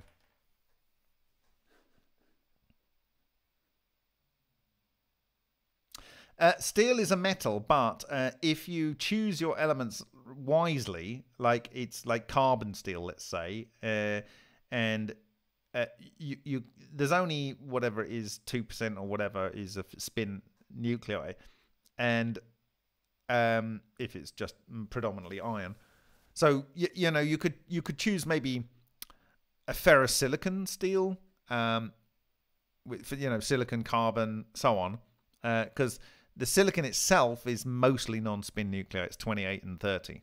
Uh, the iron is mostly, uh, you know, 54, 56, 58. Uh, it hasn't got 57. I think. Think that's right. Um, so uh, mostly you want non-spin, but I just I just don't think that in a wind hex you're going to get really sufficiently high toroidal moments in a location where it's going to destroy metals that remember the location I'm saying is here or inside the fractal toroids. Okay. But the fractal toroids are already held off by the fluid dynamics from the metal structures. Okay. So, you know, it's, it, it it's, it's like the, um, rarefaction pulse heaters. You, you are generating the uh, fractal toroidal structures in the center of the fluid dynamic structure. So that when it does its work it's there and when you turn off the power it's not being energized so it stops working. So it you know that's good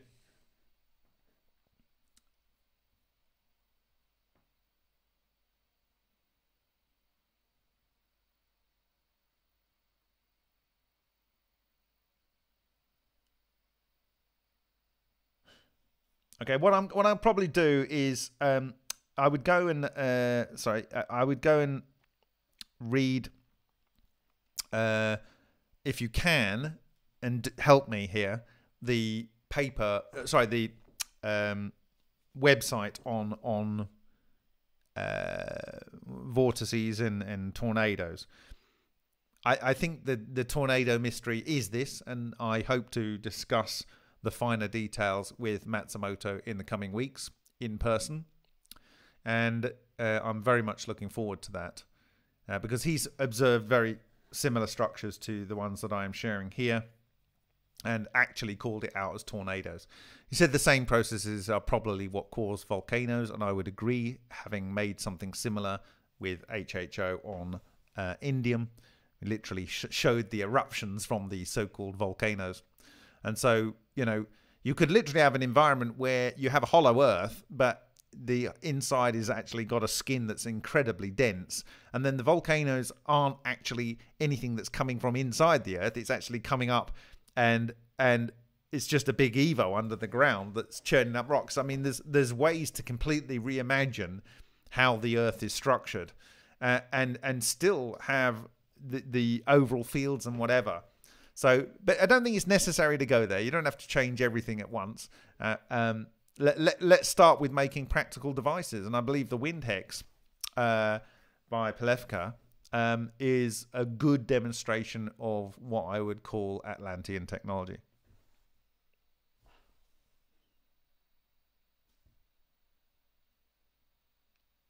Yeah, for all those out there that want to dismiss me, hollow earth. I'm never going to say flat earth. I'm going to say hollow earth. all right? That's my little bit of crazy.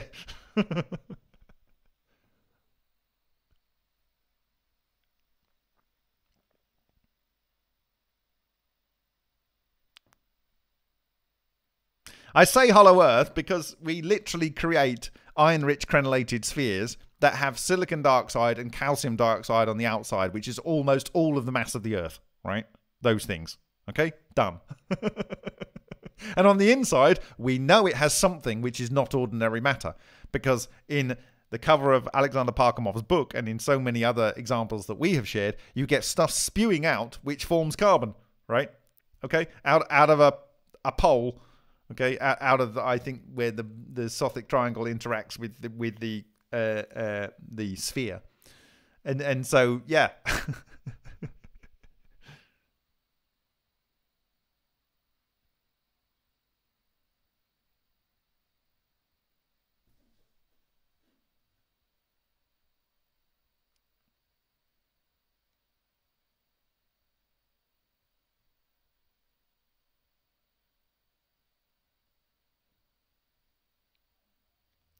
Yeah, Rob, this this device here is mega mega practical. I because we know because you can see it as I said earlier. We know 100% we can actually make this small. because of the tens of micron scale of the tungsten underneath. Um, uh, the question is, can we get the speed of the the airflow up or the steam flow or whatever? I suspect we can. I suspect we can because we get it in ultra. It's the same thing going on in ultra. So, like, you know, I, I, I think it would be surprisingly easy. Just you have to do it. you have to believe it's possible and then do it.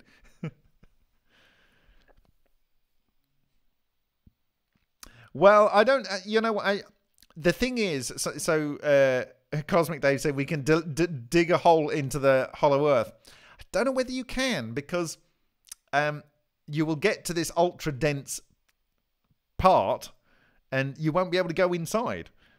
Uh, you, you're you're you're getting to this sphere. It's kind of like the sphere that, yeah. Anyway.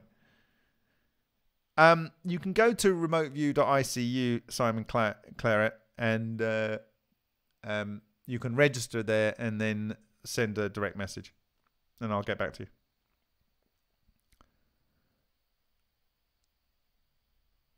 Uh, yeah, well, the heart is kind of sort of similar geometry. Anyway, the the the, point is is that uh,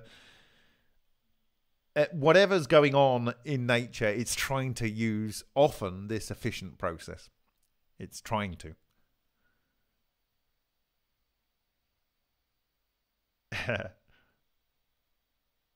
All right, so um, I'm just going to wrap up here. So thanks for everyone that joined me today. This was O-Day explaining Frank Polifka's wind hex.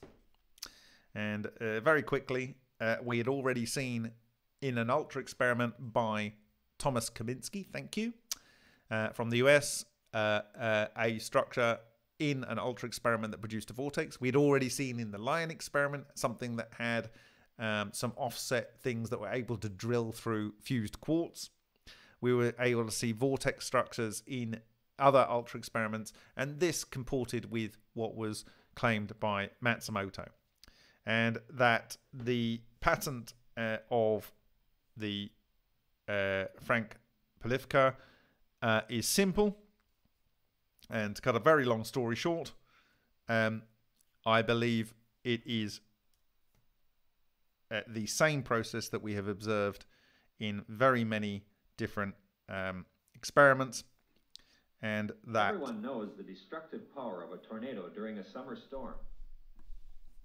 Now, Kansas inventor Frank Polifka has harnessed this power in a tornado machine. And in that, we have showed that he throws material into the bottom. And if you believe the mainstream concept of how this works, you would imagine that it just goes sucked straight up and out the top, right? But I don't believe that's what it is. There is this destruction zone that we have identified in our work. And I believe that is where it literally is exploded as is described and i think he was correct. So thank you very much for your time. Uh, it's been a real pleasure to uh, be able to share this with you today and i will see you in the next video. Buenas noches dobronoc good night